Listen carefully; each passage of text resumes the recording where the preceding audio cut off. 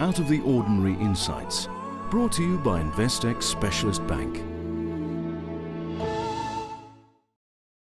Captains of industry. This week we're going to talk about fishing. We're going to talk about a company that's been a stalwart of the JSE since 1918. It's not the most glamorous company on the JSE, but it consistently returns good money to shareholders. In the studio with me, the captains of industry studio, is Francois Kuttel, who's the CEO of Oceana. Francois, thanks very much for joining us. You're a proper fisherman, aren't you? This isn't just uh, a CEO's job. You're not just a bean counter. Fishing is in your blood. No, whilst I am qualified as a bean counter, I did grow up in a fishing family.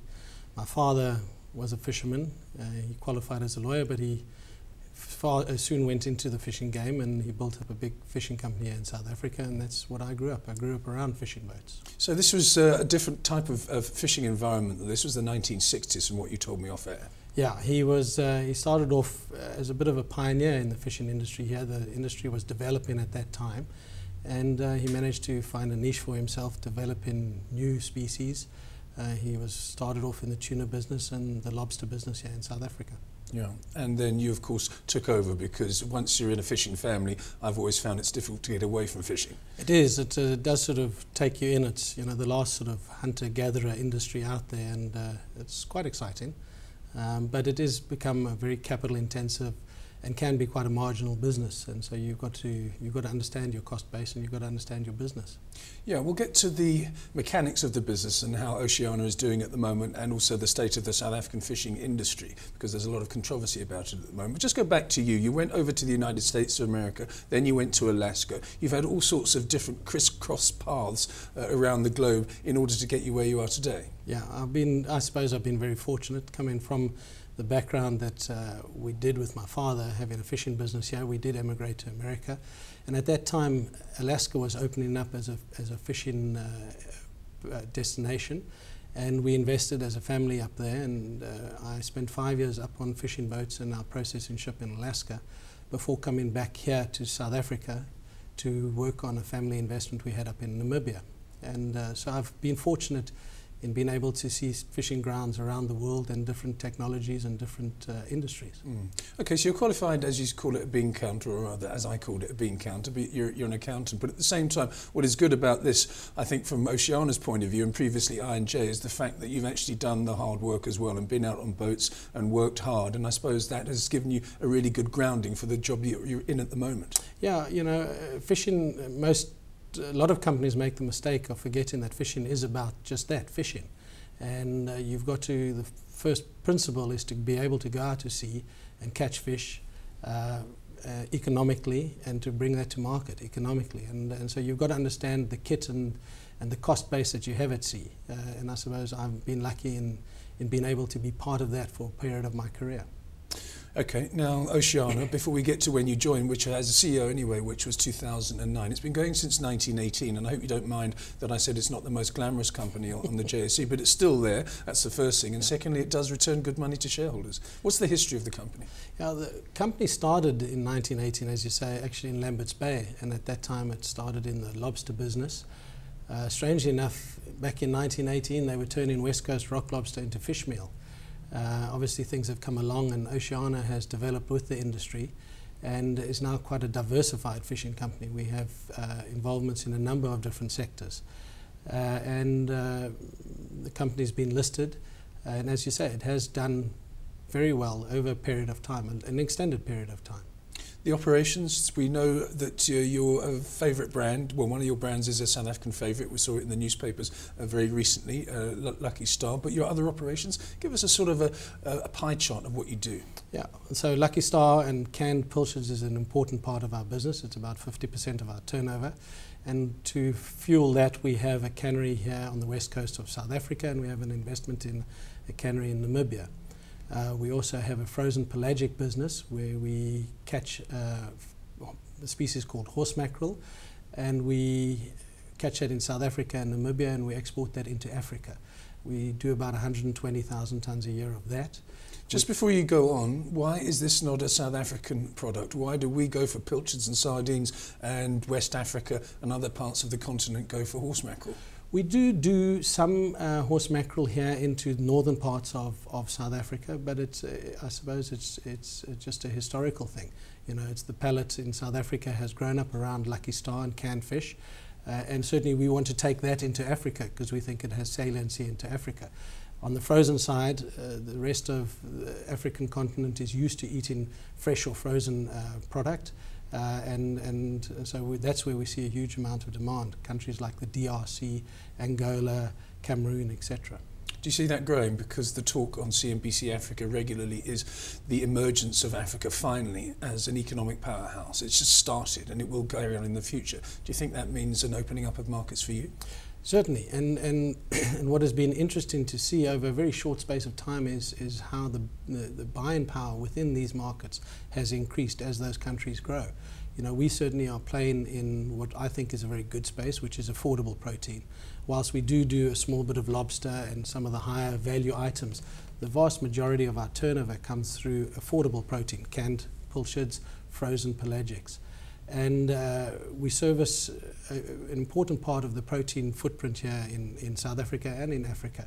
And as people are moving up the economic scale, the demand for protein goes up and up. And we've seen that translate into more robust demand for our products over time. Let's compare you to, for example, chicken. I mean, you're both proteins, different tastes. Um, chicken is the protein of choice in South Africa, yeah. but is fish catching up or is it just going to stay where it is, do you think? We have seen over the past few years uh, growth in the amount of protein that is consumed in, in the space of pilchards, for example. But we are probably about one tenth of what chicken is. We, uh, we've about people consume around four kilograms of pilchards per, per annum, a family, an average family in South Africa, where they're consuming over 38 kilograms of chicken per annum. So we, we've got a lot of catch up to do, but we do think that there's opportunity there. Yeah, indeed. Uh, you were just talking about the, the lobster market and it was used as fertilizer because it was so abundant. In the newspaper this weekend, that I read anyway, there was a scandal about the way that South African stocks of lobster and also hake and also uh, pelagics and all sorts of other things are being mismanaged because of an anomaly or rather an oversight by the person that is in charge of fisheries in this country. What do you make of that? This is not a particularly political program, but you must have a view. Yeah, I think uh, you must be careful of, of, of reading too much into certain things. Certainly, South Africa has a long tradition of very good fisheries management. We've got great scientific uh, expertise, uh, and we have a good legislative framework. The, the, thing that you're talking about is specific to the West Coast rock lobster, where the West Coast rock lobster is at an area where it is challenged at the moment. And the vast majority of the challenge around that resource comes around an increase in the levels of poaching. And it's very difficult to manage that. And I know that government is, is, is struggling with that particular thing. But around the, the actual scientific research that is done, and the, the basic management legislation in South Africa, we've got a very good framework around that. So the species like hake, horse mackerel, pilchards are, are, are, very, you know, are very well managed. In fact, Oceana's basket of target species, uh, all of our target species, except now for West Coast rock lobster, on the SASSI green list. Mm, what about quotas though? If I ever go down to Kalk Bay and I buy as much as I can from uh, the smaller operators there, uh, hopefully the fish is fresh, I'm, I'm, sure it is, they always complain to me, because I always have a chat with them, complain to me about the quota system, the fact that their lives are so tough. Do you think the quotas are too hard or do you think the quotas are appropriate for this country? No, I think quotas are, it's always a tough issue where you have a resource which is then allocated out. Everyone I don't think there's any entity that will tell you that they have sufficient quota. Uh, everyone is jockeying for more quota at, at, times. I think what you've got to look at is who translates that quota into the maximum economic benefit for all people. Not personally, not just for the person that is harvesting the quota, but how far does it go? How far does it go into the community? How far does it go into the, the country's fiscus? And uh, it is a national resource. It has to be well and sustainably managed, which means it does have to have limitations. And in limitations, people will get disappointed. But I suppose the trick for government is to try and make sure that that resource is harvested to maximum effect, which is the maximum value creation that can happen out of that resource. And don't destroy the, you know, the, the crop itself, the catch itself. Like, for example, in the North Sea, the cod has been overfished. For example, what the Spanish are complaining about at the moment in the dispute between Britain uh, over over Gibraltar, the English are saying, or the British rather, are saying that they're overfishing. So it's a very fragile resource, isn't it? Correct, and it does have to be well and robustly managed. And as I say, in South Africa, we have good examples of that. So the hake industry in South Africa was one of the first groundfish industries in the world that was certified by the Marine Stewardship Council as a sustainable fishery, which is a great tick for our scientific work and also for our, our management regime here. The fact that we do get certified uh, as, as sustainable. But against that, we've got the challenges of species like abalone. Now, abalone is, uh, you know, there's, there's not a significant barrier to entry for abalone fishing. You essentially need a screwdriver mm. and you can become an abalone fisherman.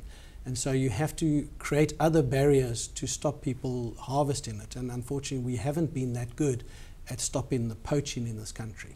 Back to the minister uh, and um, the way that the government is handling the business. There has been a scandal about uh, an 800 million uh, rand fleet management contract, I think it is, which has paralysed certain parts of the industry. Can you explain that?